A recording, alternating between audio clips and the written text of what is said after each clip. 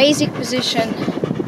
Um, so after uh, a few exercise in the trial in the uh, Schutzhund IGP routine, when the dog is uh, coming to you, you need to give the dog command to finish, which is a basic position. And basic position is when he is sitting next to you before you start heeling again.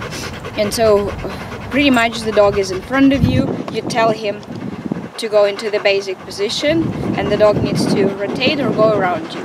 So there are two options for that. I prefer to do for the dog to flip around because it is it looks a bit better, uh, it's more spectacular and with the Dobermans they're so quick um, it actually works with their temperament better. They like kind of uh, active exercises. So today I'm gonna show you uh, how I will teach this. And it's our very very first try so I don't know if he will do it or we'll start figuring it out.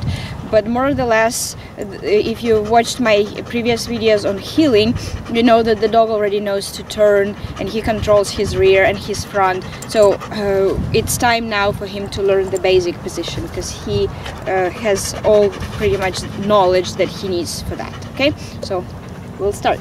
Come on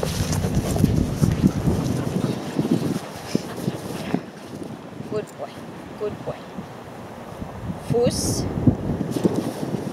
Fuß, Fuß, Fuß. Good. Good Fuß. Good Fuß. Yes. Good boy. Good boy. Hey. We just actually trained and did a recall command when I was trying to fix him in front of me. So he's slightly confused. But um, as you can see, I'm literally helping him right now until he figures out what I want.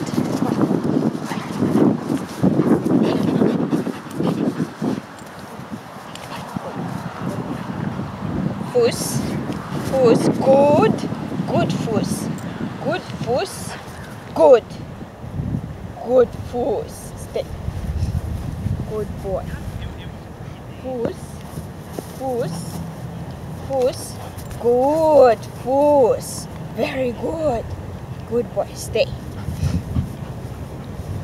good boy, Fuß, good, good boy, Hey, hey, hey. He's very active. He likes whatever is jumping or running, it's good for him. good boy. Hey, hey, enough. Good boy. Fuß. Good.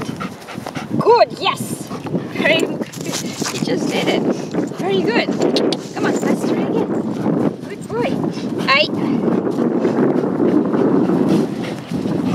Good boy. Come. on. Enough. Fuß. Fuß. Yes, very good.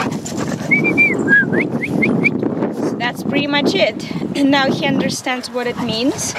And all we need to do is just uh, polish this and uh, speed it up. So now he knows that he needs to swing around me and with time, with practice, he'll be much faster doing that. And um, that's all. Happy training!